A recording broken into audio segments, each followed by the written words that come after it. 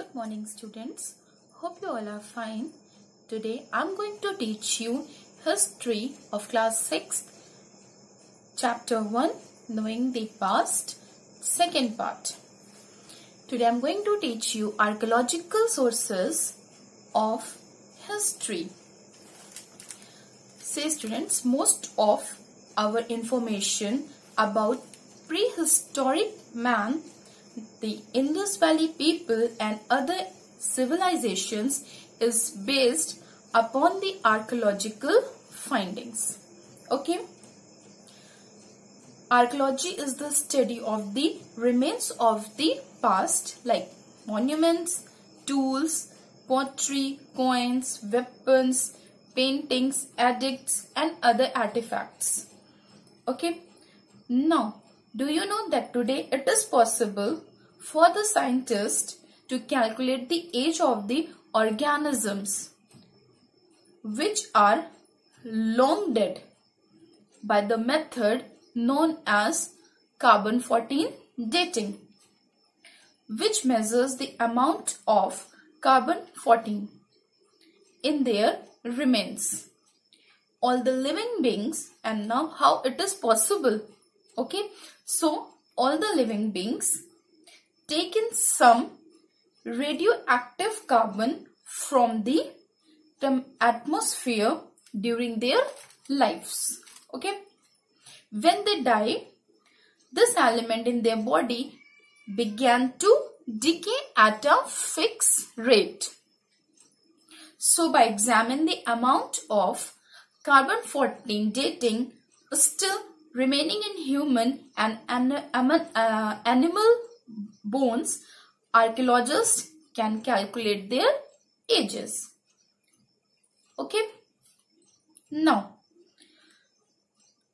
how, how many types of or how many forms of the archaeological sources are there in our history? There are usually four types of foundings forms are found. Inscriptions, monuments, coins, artifacts and objects. What is inscription? Inscriptions. In ancient time, the rulers engraved important messages on tools, rocks, pillars, stone, stone walls and on stone tablets and on copper plates. These writings are known as inscription and the study of these old inscriptions are known as epigraphy. A study of these inscriptions throw light upon the language of the people, names of their rulers, the year they ruled, the military achievement, the religious and the social condition of, of that time and other details also. For example, a King Ashoka's inscription on the pillar on the on the rock edicts describe his achievements, his religious beliefs and his instructions for the common people. Now I'm going to show you the picture of the Ashoka pillar which is situated at Firoz Shah Kotla in Delhi. Can you see this pillar and the inscriptions? Now Next is our next important remains, archaeological remain is coins. Coins are made up of, at that time coins are made up of gold, silver and copper and therefore are not easy uh, to destroy. They have the names and images of rulers stamped upon them and also give information such, such as the date of their succession, the death of the particular rulers. Thus, they help in fixing the chronology of various dynasties.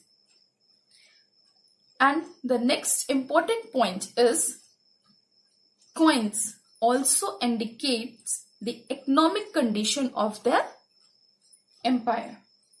For example, high gold or silver content in a coin indicates that an empire was economically sound. Similarly, on the opposite, indicates that an empire was not economically sound.